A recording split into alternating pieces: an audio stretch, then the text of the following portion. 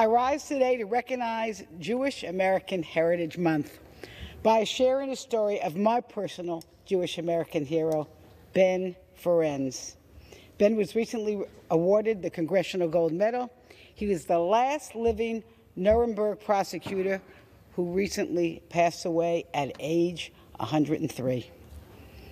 Uh, ben enlisted in the U.S. Army right out of law school. He was assigned to collect evidence of Nazi war crimes, which he later used to prosecute the biggest murder case in the history of the world.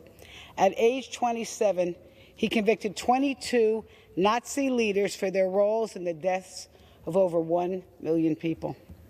Ben later dedicated his life to creating a world of acceptance and compassion, becoming a tireless advocate for the rule of law and international justice. Ben Ferencz is a real American Jewish hero. His legacy is one of peace and justice and humility. May his memory be a blessing. And I yield back.